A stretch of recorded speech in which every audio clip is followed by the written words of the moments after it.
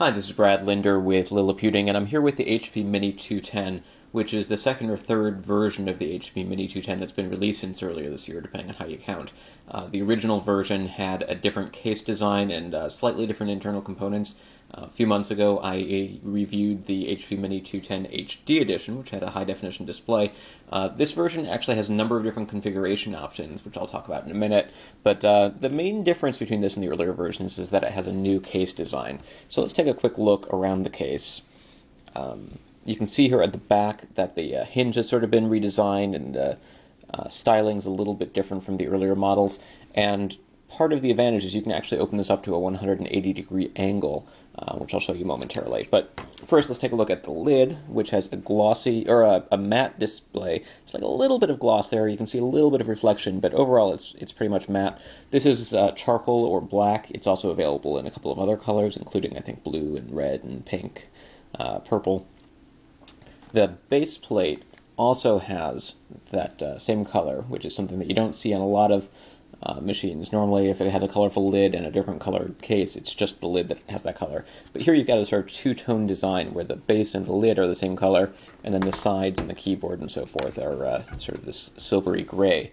Um, while it has a sort of metallic look to it, the whole thing is made of plastic.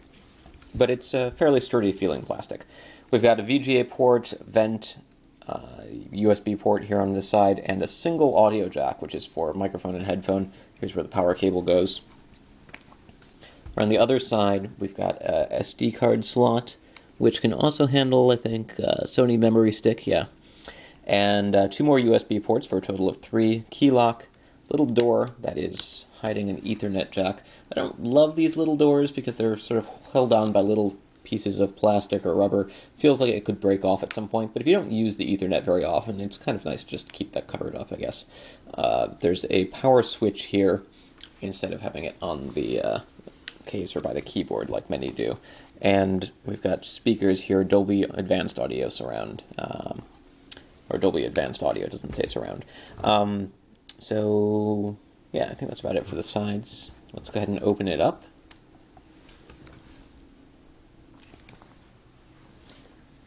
And while it's uh, resuming from sleep, we'll take a quick look here. The touchpad is nice and wide and actually has a very nice feel to it. The uh, problem I have with the touchpad is that it does have the buttons integrated directly into the touchpad, which can be a little bit awkward at times. HP has some of the best drivers that I found for this style of touchpad, though, so I don't have too many problems when I'm trying to uh, sort of do two things at once move and tap. Uh, you can do that without running into too much difficulty. You can't tap on both sides at the same time, though, which is a problem that you uh, have with this style. Um, it's not something that you necessarily need to do very often, but occasionally it comes in handy. The keyboard is an excellent keyboard overall. I uh, found it uh, flat keys, little space between them, very easy to recognize where my fingers should be going all the time.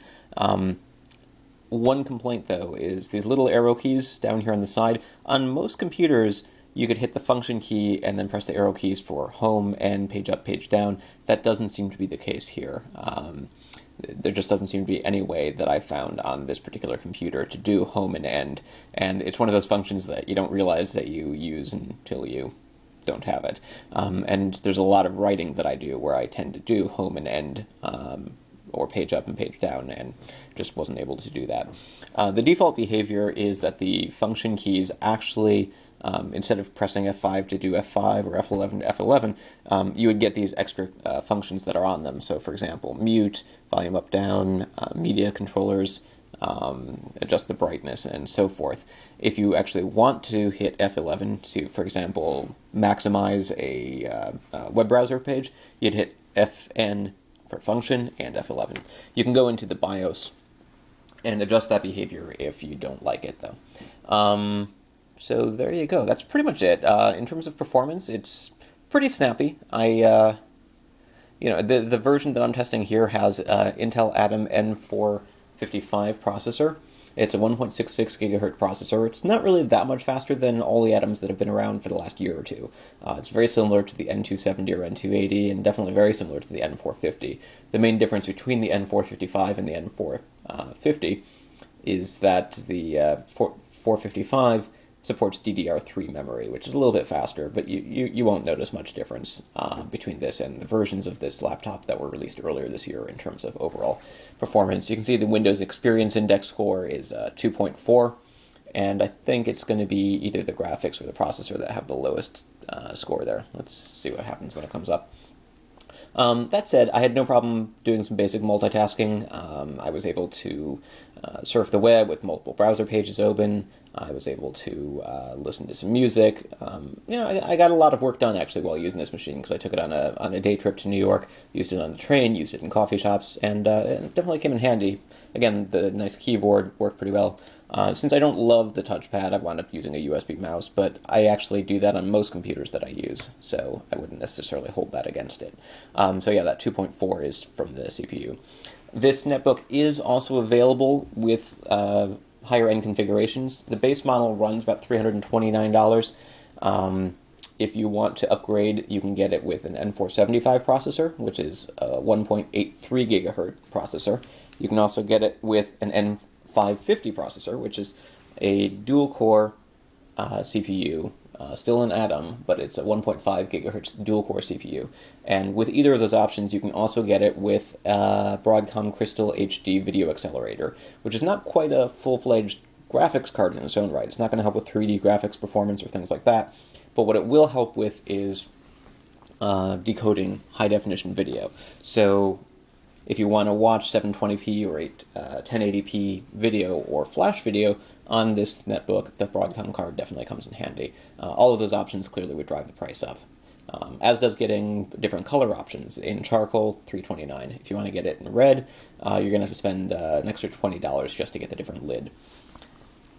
And as I was mentioning before, this is something that's really pretty special, is that it opens up pretty much to a 180 degree angle. Doesn't go past that, but um, you know, if you want to hold it up for reading ebooks or doing something along those lines, that can come in handy. Uh, the display is glossy, but as you can see, when it's lit, there's not really too much of a problem with glare. Uh, when you turn off the screen, you can definitely see some reflection now. Uh, let's go ahead and shut down. And um, comes standard with a six cell battery. Earlier versions were available with three or six cell batteries. This uh, ships with the six cell and I was able to get about uh, eight, eight and a half hours of battery life out of it, which is uh, not the best that I've ever seen from a netbook, but among the best. It's uh, it's definitely all day computing power. Okay.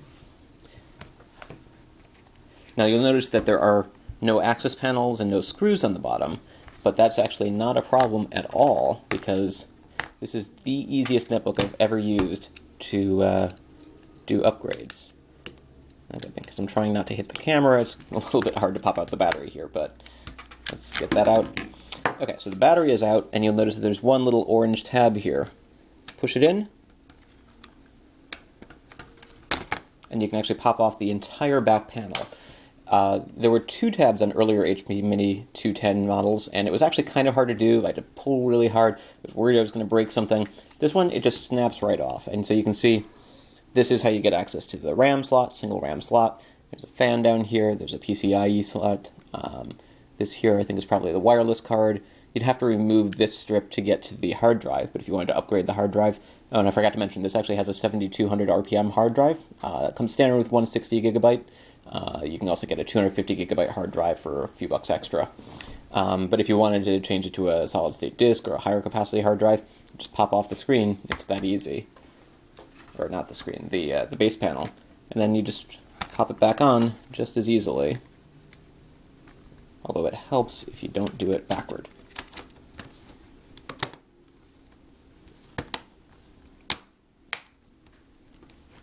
There you go. You just push down the corners and put the battery back in.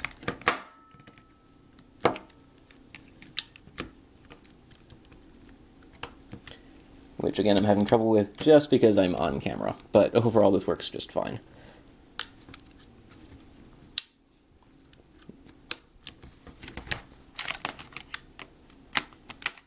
There we go. So there you go. That's a look at the HP Mini 210 laptop.